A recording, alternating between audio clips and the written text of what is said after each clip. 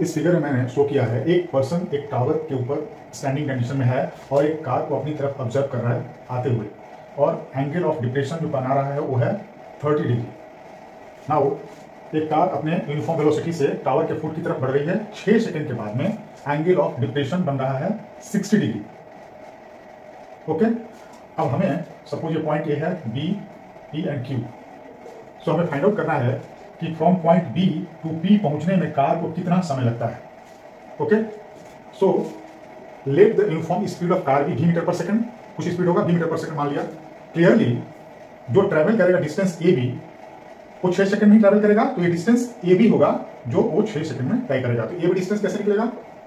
Distance is velocity into time so six into V mean six V is equation one अब हमें निकालना है कि पॉइंट बी से पॉइंट पी पे पहुँचने में कितना समय ले रहा है? Car so let the car takes T second to reach point P from point B so BP की वैल्यू क्या हो जाएगी आगे?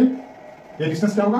Velocity into time velocity is V and time is T so VT will be the BP this is equation number two अब देखिए, दो triangle form हो रहा है so in triangle A B Q A P A P Q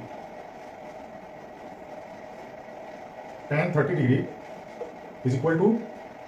is equal to pq upon ap so, tan 30 is 1 upon root 3 pq की value नहीं है पता suppose h metre so h और ap की value क्या हो जाएगी? Ab plus bp ab plus bp means 6b plus bp की वैल्यू कितना है? Vt so root three h लिख सकते हैं हम 6b प्लस vt ओके अब ये equation now in triangle BPQ tan 60 perpendicular upon base, means h upon base BP BP की वैल्यू क्या है? VT so, tan 60 क्या होता है? रूट थ्री h की वैल्यू आ गई root three VT suppose equation तीन है and this is four so from equation three and four क्या लिख सकते हैं? रूट थ्री एच एच की वैल्यू क्या है? Root 3 into Vt is equal to 6V plus Vt. Now look here, 3Vt minus Vt, 2Vt is equal to 6V. So T is equal to 6V by 2V.